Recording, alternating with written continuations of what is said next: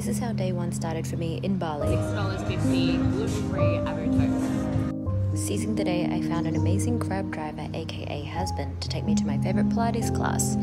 After that, a quick dip and some vitamin D. Then it was time to do some work and score some music. I am now on the lookout for a music video shoot location. This place is situated in Canggu. There's a piano, and I squeezed in a little bit of piano practice to test out the piano. Then it was time to do some shopping. Visited my friend Mauricio Alpizar, who, funnily enough, 15 years ago, I did a little bit of modeling for him back in Sydney for his amazing pieces. He has this cute dog, Coco. After that, it was time to go see some friends and chase sunsets. I am definitely a sunset girl over a sunrise girl. Espresso martinis are a must, and then we head over to Shelter for a wonderful group dinner. So great to see friends in Bali grand opening of the school club.